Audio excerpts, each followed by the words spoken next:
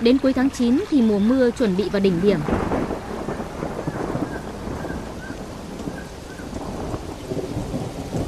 Ngày nào cũng mưa tầm tã không ngớt.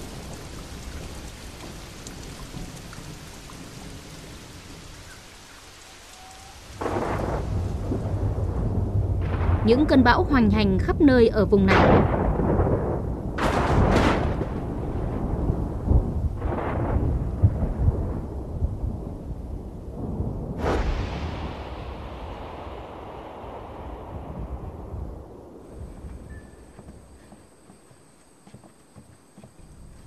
Những cơn mưa tạnh đã mang lại một cơ hội cho những người Campuchia này.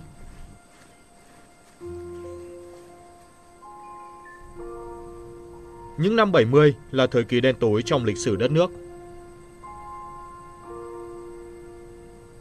Chế độ Pol Pot với một quãng thời gian thảm sát và chiến tranh. Được cai trị bởi một tên độc tài, những làn sóng dân cư lớn đã biến mất. Những cánh đồng chết của Campuchia giờ đây chính là cơn ác mộng về nạn diệt chủng của thời kỳ đó. Người Campuchia cần phải rất